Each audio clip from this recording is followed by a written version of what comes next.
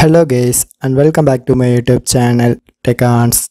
So today I get the following error notification while I try to watch the videos on my YouTube application and it shows refreshing thumbnails of downloaded videos and this notification is only occurring if I try to press the YouTube link in WhatsApp or any other social network applications. So anyway, how to hide this notification from your Android or iOS devices? So just long press on that YouTube application icon and it shows some options. So here you can go to app info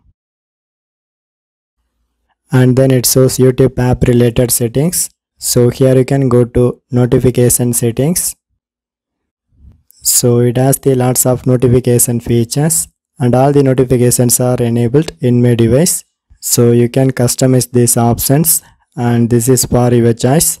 So otherwise, if you want to hide this previously occurred notification only, just disable following options and the first one is recommended videos and the second one is download notifications and the final one is general notifications.